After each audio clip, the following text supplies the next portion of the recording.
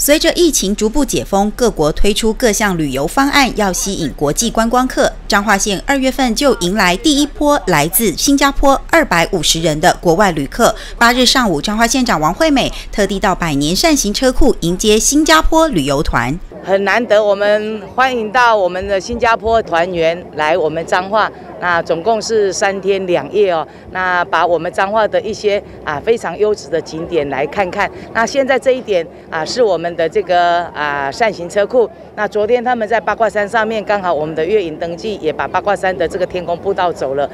晚上呢，他们会在鹿港。那明天呢，会安排他们到我们的陈美堂哦，这也是有日本的兼六园之称的陈美堂。那来看看我们彰化啊在地的非常优质的一个一些园艺哦。那希望说他们啊新加坡的这些贵宾在这三天两夜里面，能够有一个非常愉快的一个这个啊彰化之旅这样。疫情要快要结束了，那我们新加坡大通旅行社就呃策划。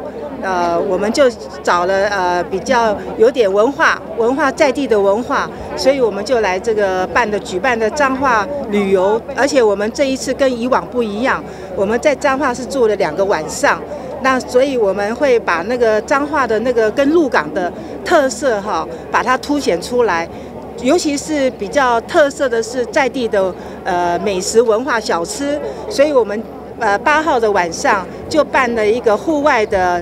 电音车歌舞台，然后还有一个呃呃在地的半桌料理。然后凸显我们彰化的鹿港的美食小吃。我第一次来彰化，然后哇，好好感动！我看到那个大佛，还看到这个我们前史在新加坡都没有看过的这个这个火车，然后火车怎么转道什么的，我们在国我我自己的国家都没看过。彰化，我们昨天吃了很多那个呃彰化的那些呃呃呃食品啊，我们的晚餐啊，全部都是呃从呃彰化的那个 restaurant，就是它的餐厅啊提供给我们的。那你们的？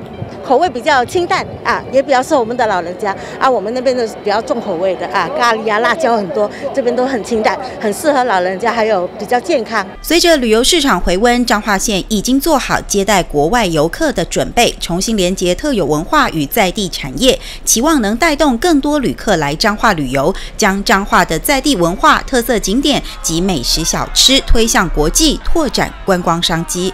公益频道林义俊彰化采访报道。